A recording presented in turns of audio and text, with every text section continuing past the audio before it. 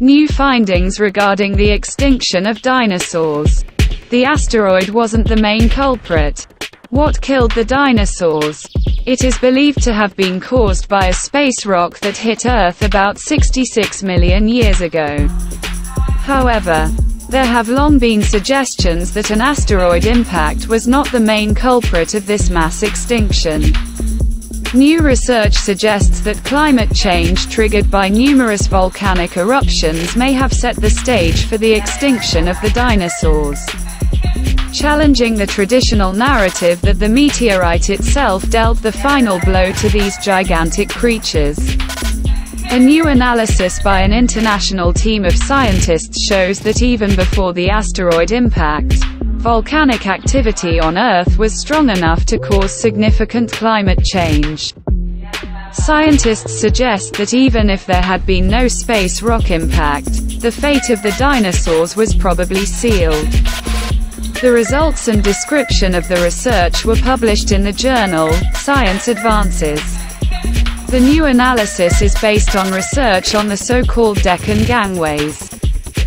These are large plains formed by solidified lava, forming the Deccan Plateau in India. They were created at the end of the Cretaceous period, about 66 million years ago, in what is now India, which was then a separate continent. Lava flows currently cover an area of approximately 500,000 square meters. Kilometer 2, although their original range was probably much larger. When examining rocks collected from the Deccan gangways, scientists used a new technique they had developed to measure sulfur concentration. In the laboratory, they estimated how much sulfur and fluorine were released into the atmosphere by massive volcanic eruptions that took place over 200,000 years years before the extinction of the dinosaurs. They found that violent volcanic eruptions may have played a key role in cooling the climate around 65 million years ago. The release of sulfur may have caused a global drop in temperatures around the world, a phenomenon known as volcanic winter. Our research shows that climatic conditions were almost certainly unstable with recurring volcanic winters that may have lasted for decades before the dinosaurs became extinct. This instability made life difficult for all plants and animals and set the stage for the extinction of the dinosaurs. In this way, our work helps explain this significant extinction, said Professor Don Baker from McGill University in Canada. Discovering clues in ancient rock samples was no small feat.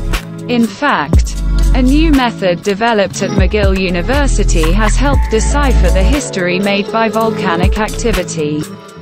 The technique for estimating sulfur and fluorine release is a bit like cooking pasta. You can imagine making pasta at home. Boil water, add salt and then pasta. Some of the salt from the water ends up in the pasta, but not much of it, Baker explains. Similarly, some elements become trapped in minerals as they cool after a volcanic eruption. Just as the salt concentration in the water in which pasta was cooked can be calculated by analyzing the salt content of the pasta itself. The new technique allowed scientists to measure the sulfur and fluorine content of rock samples.